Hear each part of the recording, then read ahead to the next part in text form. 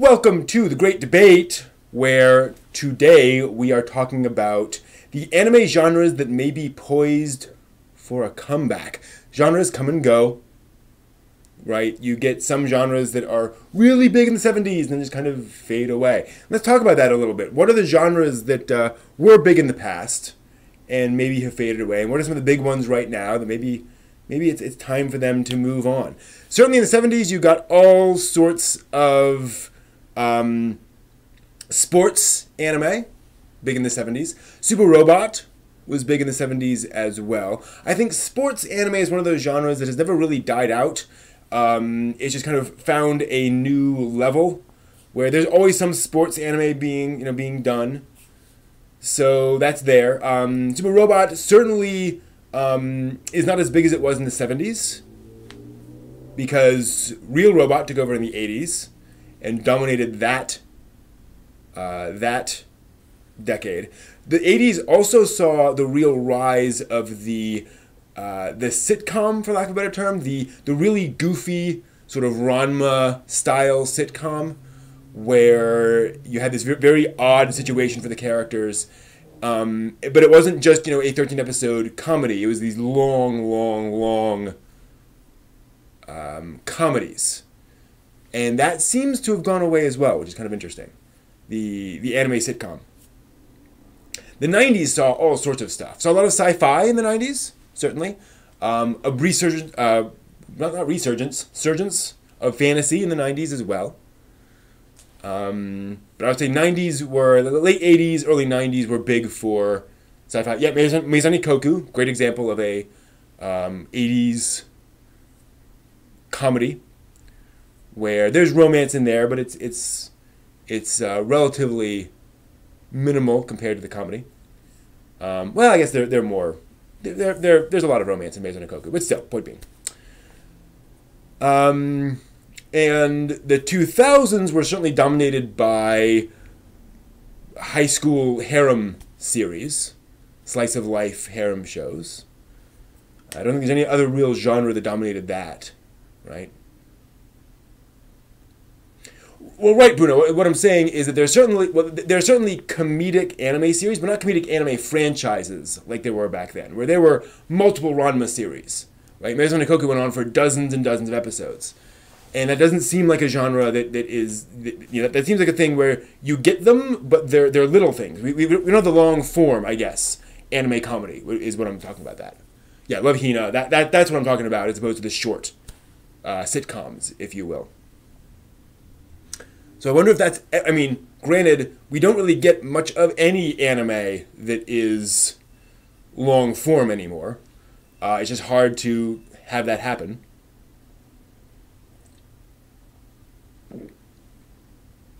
Hard to keep that going in the modern anime industry and with the anime fandom. Folks just want to move on to the next thing. Although we do see certain long form franchises, certainly the idol anime franchise concept has been a big thing over the past couple of, I would say, the past decade or so, where there's plenty of these long form idol franchises that they keep on doing. Um, so that's more of a, a new genre. Maybe, maybe you could do a long form comedy series. Who knows? Um, several people in the chat room suggest Mecha. Time for a Mecha uh, comeback. Now the question is: Is it time? I mean, would we see a Super Robot come back? Or a real robot come back? Is that you know, is it, is it time for a super robot return? Super robot is generally aimed more at children. Um, it's more fun and over the top and joyous, right? It can be dark, but the darkness is definitely a spice as opposed to a common, constant thing in Super Robot. Um, is it time for that? Or is it time to be dark? Is it time to be serious? Gritty? The way Real Robot tends to be. I'm not sure. I'm certainly seeing a bit of a move away from completely happy, goofy, um, you know, light high school romances as the norm. Hey, Master Chief. Obviously, there are there are light comedies out there, but it doesn't seem to be a, as big of a thing. Um, so we, we are getting more of a trend towards more serious stuff you know, Darling in the Franxx is a more serious super robot show.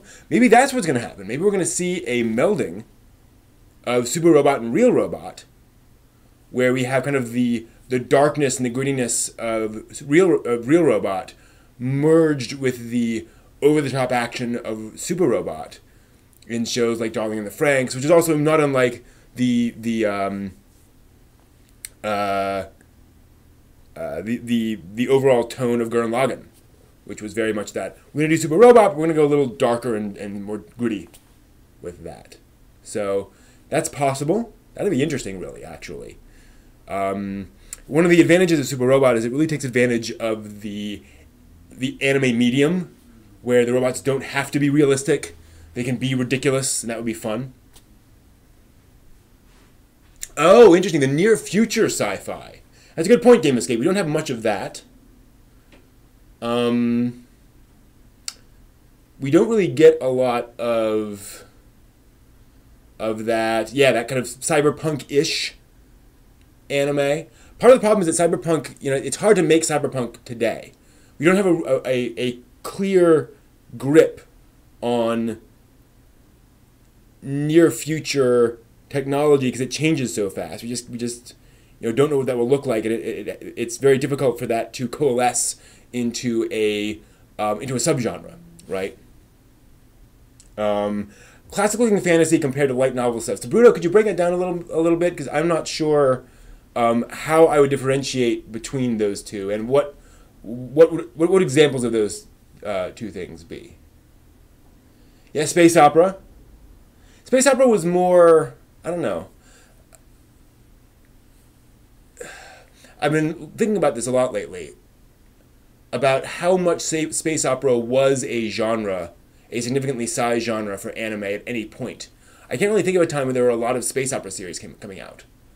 You know, you had Legend of Galactic Heroes, you had, um, you know, a few other things here and there. Crusher Joe, maybe, depending how you count space opera. But there's just not a lot of, like, of straight up space opera I can point to. Um, and I always assumed that know, space opera was probably big in the 80s, early 90s. But I just, it, it, I don't know. Maybe I should go back and dig into some of the online lists. Because um, part of the problem is, like, to me, space opera does not mean space, you know, sci-fi action, right? That's sci-fi action. Space opera needs to feel operatic. It needs to feel epic. Um, I would say, for example, Captain Harlock is a space opera because it has big operatic emotions, big operatic stories. Um, Galaxy Express 39s, I don't think is space opera because it is all disconnected stories, right? It's Twilight Zone in space. Um, it's certainly in that mood, and a lot of the Leiji Matsumoto series are space operatic. Um, Edo era anime. I, yeah, I would totally be up for more historical anime. I'd love to see more historical anime. Period. You know, Warring States period, Edo period. Um, I'd love to see more stuff in early 20th century Japan. You know, what was it like in Japan in, in the 19 teens and 1920s? Right? Quest of the Stars, anime space opera. Yeah, I haven't seen it, but from what I've seen, absolutely space opera. That's the thing, Bruno, is to me, the fantasy of the 80s and 90s all look the same too. You know, they all look like Lodoss War. Pretty much. Because they were all pretty much copying Lodoss War.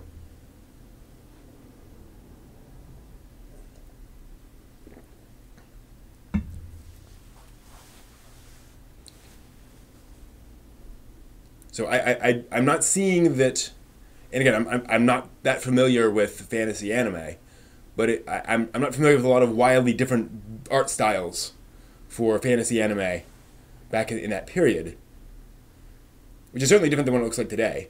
But horror, horror. Huh. I think it's another one, a good, good example of a genre that, that's never really big, been huge on its own, but could definitely be poised for a big upswing. Um, like in the 80s over here, we had all the, the teen horror uh, series. Yeah, that could certainly be. It'll depend on if Japan is in the right psychological mood for horror. Certainly, there's a lot of horror um, out there.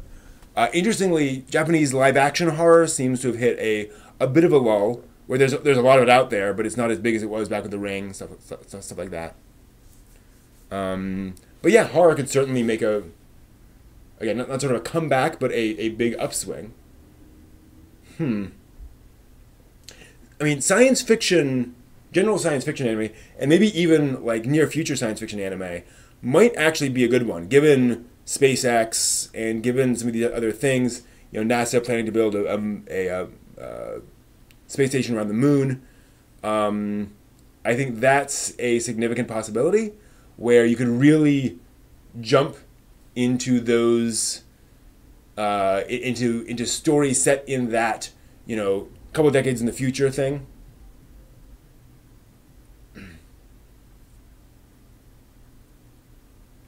Ever been a Yakuza anime? Well, there was the uh, the adaptation of, um, oh gosh, um, the Toshiro Mifune film. Um, okay, one second.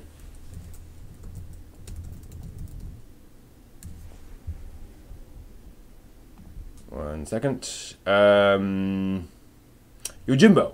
There was an anime adaptation of Yojimbo called Kaze no Yojimbo, or The Wind of the Yojimbo, uh, which sounds very scatological, but it's not. Um, and it's basically a modern adaptation of Yojimbo, where this guy sort of sweeps into this uh, sort of small town in Japan uh, and actually does uh, you know gets involved with the a sort of a crime syndicate that more or less runs the town and all that kind of stuff.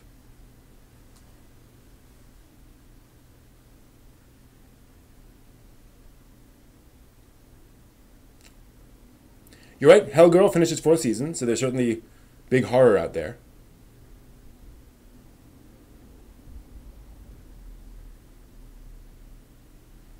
Um, but I'm trying to think of other Yakuza focused anime series. I can't think of any, which could be one of those things where we don't want to piss off those guys.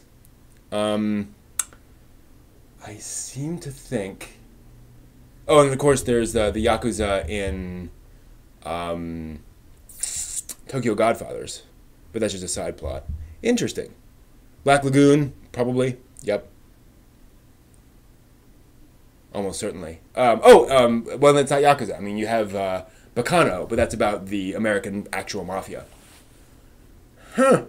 That's interesting. Um, yeah, Kaze no Yojimbo was interesting in that it was about kind of small crime, prostitution, things like that in a, in a relatively small town, uh, modern day. Um, but it was it was very dull. You know, it just nothing was happening.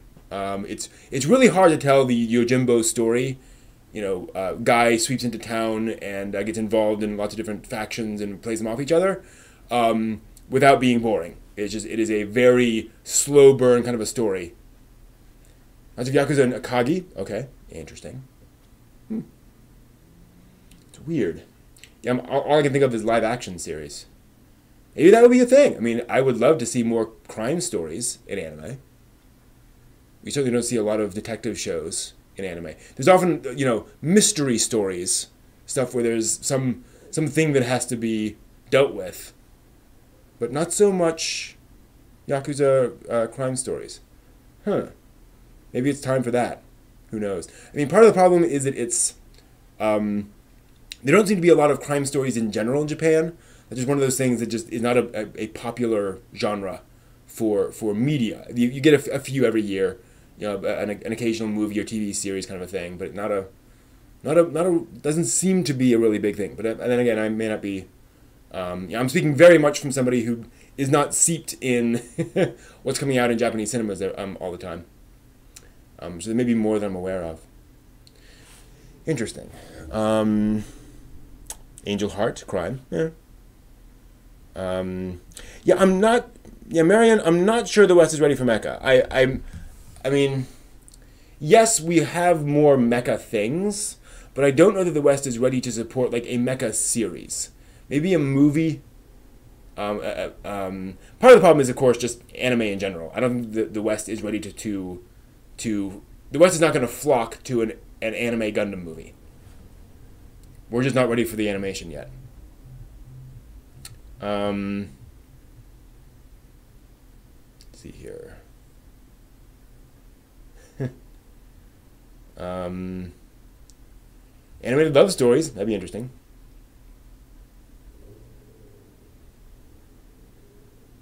Sanctuary. Oh, two episode OVA. Fair enough. Yeah, the Yakuza are a, you know, quasi legal organization in Japan, so it's complicated. I don't know that I want a live action Gundam movie, to be honest. I don't, I don't think know that Gundam would work live action.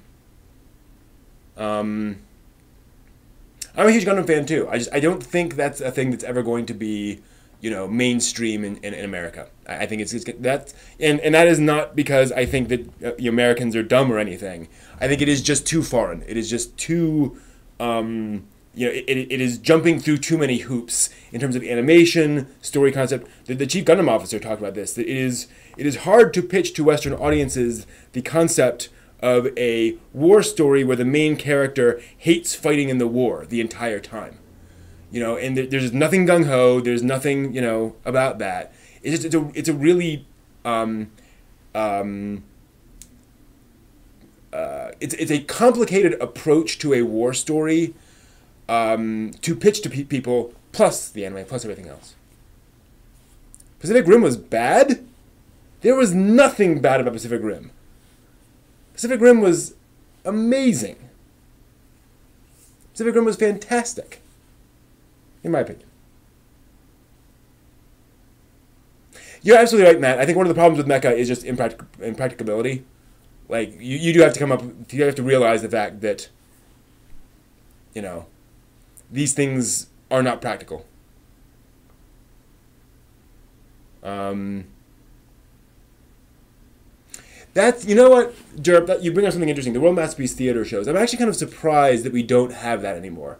For those not familiar, World Masterpiece Theater was a it was a yearly adaptation of a children's novel, typically or novel series, into a, a sorry, a 50 episode anime series. So Anne of Green Gables will get a 50 episode anime series, and so forth and so on. Um, the um, and so you just got all of these children's films, you know, um, Heidi and all that stuff, and it was always, as far as I know, it was always successful. Now, granted, this was a different times, you know, 70s and 80s into the 90s, but it seems to me like that's an easy sell you know, it aims straight at kids. You get um, a lot of material. You can tell, you know, a variety of stories. There's all sorts of kids' stories to tell.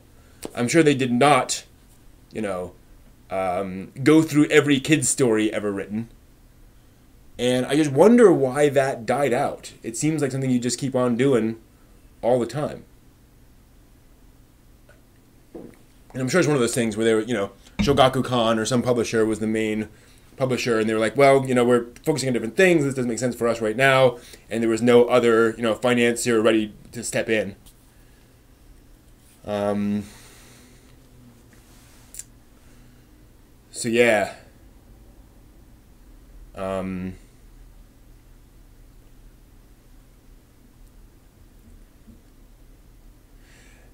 Master Chief brings up an interesting question as, to whether otaku anime are going to become a, a thing. Are they going to see a bunch of of shows about otaku? I can see that happening. I can see otaku as protagonists as a, a major thing. Um, I mean, there's that that would be catering straight to the fans, and that is something that we would all understand, right? Doing the Genshiken, even Welcome to the NHK is. I mean, he's not an otaku, but it's it's catering to those sorts of experiences. But definitely Genshiken, those sorts of shows. I think that that might be a, a genre that's that uh, that would would appeal a lot to fans. Although I mean, you see uh, things like the anime adaptation of Akiba's Trip never really went anywhere. Um, so I don't know if that's really something that makes sense. Um, financially, who knows? I mean, that would certainly kind of uh, square the circle. Where we could have anime to otaku that are about otaku. I don't know. We'll see. So yeah, so that's interesting. So I think I don't know. I, I think I agree that mecha feels like it's poised for some kind of resurgence, but in a different form. Like I said, I can see a super robot and real robot melding. Um, I can see. And I know we've had enough comedy. I don't see a huge comedic thing. I can see near future science fiction. Maybe. Outbreak Company and Gate. Yep. Definitely Otaku leads. And it doesn't seem like either of those like exploded. None of those really they like they, they had their fans but didn't really turn into huge franchises. Post-apocalyptic. Interesting Van Riley. Hmm. Anime would certainly do post-apocalyptic very well because you have over-the-top action sequences. Um, you have people wearing the same clothes every time, so it's easy to animate. Uh, it's actually kind of surprising. Why don't we see? I mean, we saw a lot of post-apocalyptic anime in the '80s. Um, maybe that is that would be a reasonable thing, especially with the popularity of zombies. You know, seeing that come in. Yeah, if it's the North Star, absolutely. Um, seeing more more post-apocalyptic zombie survival horror kind of stories that would work. Huh. That's interesting. That is really interesting. That would totally make sense. It'll also depends on how the Japanese economy does, on how well, you know, the, on what the Japanese feel like, right? In terms of just what the mood is. That often determines what is popular or not. Whoever knows. Yeah, superhero anime was a, a fad, pretty much. It seems. Such is life. All right, I think we covered this pretty darn well. Had some interesting thoughts. Thank you all very much. And um, we'll be back next week with another topic, but uh, some interesting stuff. So I'll stick around here for a little while, and uh, the rest of you watching on YouTube, see you next time.